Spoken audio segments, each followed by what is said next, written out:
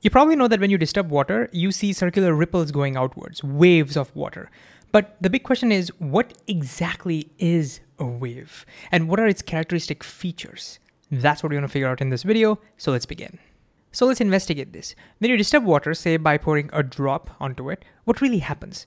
Well, the molecule of water that's right over there, let's model it by using just a circle over here, that gets disturbed. It starts vibrating. So maybe it goes down and then goes up. So it starts vibrating.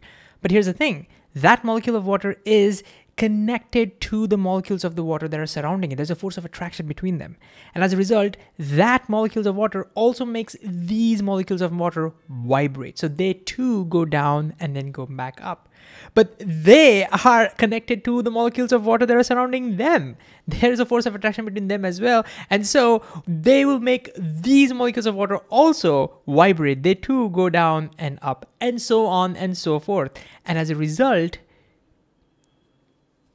look, the disturbance propagates outwards. And that's what we see as circular ripples going outwards.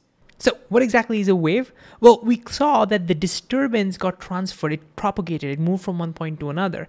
In other words, energy got transferred from one point to another. But the water molecules did not move from one point to another. They were pretty much in their own place vibrating. So waves transfer energy, but not matter. It's very similar to the human wave that you see in a stadium. You look at that. You see a disturbance propagating to the left, isn't it? But notice the humans over there, people, they're just vibrating up and down. They're not moving. Humans are not moving from one place to another, but the disturbance is. That's what a wave is. Okay, so now to investigate further, let's consider a type of wave that has repeating patterns. For example, in this PhET simulation, if I were to switch on this tap, a drop keeps falling every second, and now we have a wave that keeps repeating itself. Okay, this is very nice and this is much easier to analyze. We call such a wave that has a repeating pattern, we call it a periodic wave because it's repeating itself periodically. So let's think about the different features of the wave. The first one is called the frequency. The frequency of a wave is basically the number of waves that are passing through any given point in some given time. For example, in this particular case, um, every second one drop is falling down. And therefore, if I were to look at any particular point, you'll find one wave passing through that point every second. That is the frequency of the wave. So we can say the frequency of this wave is one wave per second. And a wave per second is also called hertz. So we can say the frequency of the wave over here is one hertz. Now let's see what it would, what things would look like if I were to increase the rate at which the water drops. So if I were to now make the two drops of water fall every second, let's see what's going to happen. Ooh, ooh. Now you can see there'll be two waves passing through a point every second. And therefore we would say this has a frequency, this wave has a frequency of two hertz. And we can just compare the two. Here's a side-by-side -side comparison you can see 1 hertz versus 2 hertz, 1 wave per second passing through any point, 2 waves per second passing through any point. But look at the speed of the wave. The speed of the wave is the same. In both the cases, the wave is traveling the same amount of distance in a given time. So do not confuse frequency with speed. In both these cases, the speed of the wave is exactly the same. It's the distance that the you know wave travels per second, you can say. So that is different from the frequency. Okay, what else do we have? Well, to understand another feature, let's look at the whole thing from the side. Now, before the wave starts, look at the level of the water. This is the equilibrium position, okay? Now let's look at what happens when we start our tap. Okay, what you notice is that now the water level, you know, there is this bottom level and there's this top level. Like, let me just pause the video. All right. We find these peaks, which are the highest points above the equilibrium line. We call them the crests. And we find these valleys, which are the lowest point below the equilibrium line. We call them the troughs.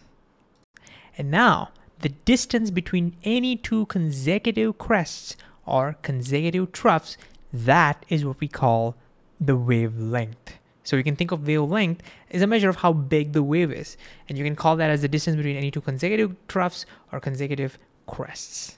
And since it's a length, wavelength is measured in units of length, like meters or maybe centimeters. And now here's the interesting thing. What do you think is going to happen to the wavelength as we change the frequency? Well, let's look at the simulation side by side.